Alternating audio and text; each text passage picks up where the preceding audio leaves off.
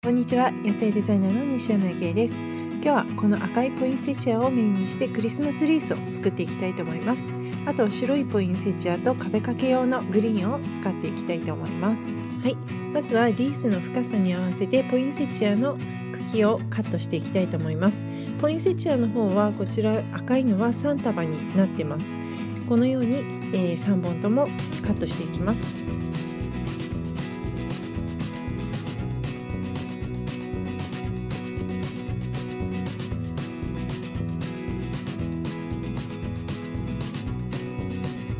い次も、えー、白いポインセチアも同じようにカットしていきます、えー、長さは適当に、えー、カットしていきます。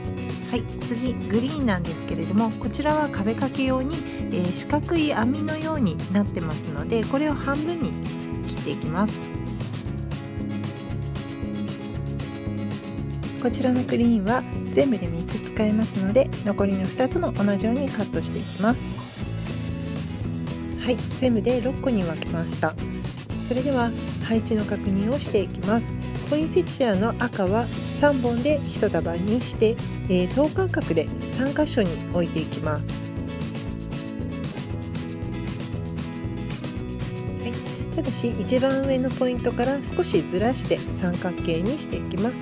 そして、えー、白いポインセチアは2本で1束にして3箇所に分けていきます。そしてさっきの、えカットしたグリーンを赤と白のポインセチアの間に入れていきます、はい、イメージはこんな形になります。それでは、えメインのポインセチアから刺していきたいと思います、え大きめのポインセチアを、え選んで、え直接リースに刺していきます。他の小さいポインセチアもあと2つえー、なるべくくっつけて隙間がないようにつけていきます。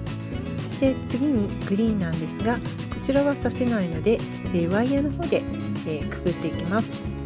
でこのワイヤーなんですけれども、え2箇所内側と外側に、え2箇所にやらないと、え取れてしまいますので、え最低でも2箇所に、え止めるととても、え安定感が出ます。また、えー、このように中心を確認しながら作業するとやりやすくなります。次は白いポインセチアですねこちら2本になります。赤い方と同じように直接リースに刺します。次はグリーンですね。こちらはワイヤーでくくっていきます。内側と外側2箇所くくります。で次赤いポインセチアを3本ね。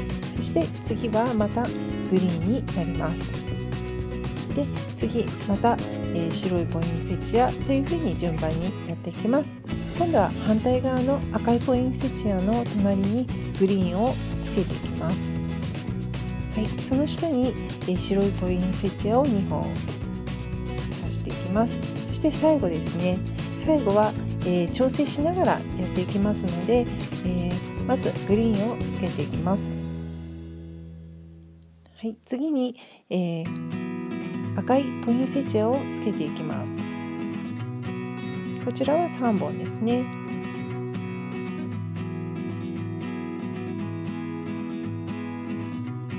はい。で、えー、赤いポインセチアと白いポインセチアの間が、えー、結構狭くなってしまったので、えー、このようにグリーンで調整していきます。グリーンを、えまた3つぐらいに分けます。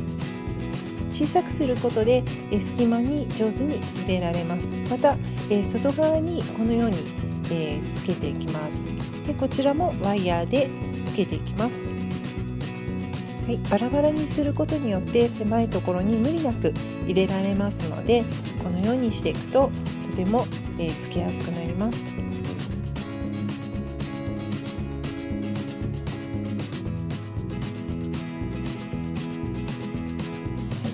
え最後にポインセチアの後ろが少し空いてたのでここに、えグリーンを入れていきます。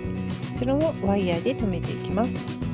はい出来上がりです。一番上のところを確認して、え一番下にグリーンが下がるようにしました。はい出来上がったら、えー、少し葉っぱなどの調整をして整えていきます。はい整えたら、えー、壁の方にかけていきます。はい壁にかけてみました、えー、でえー、ペンと重ねてみるとこんな感じの大きさです。はいよかったら皆さんも作ってみてください。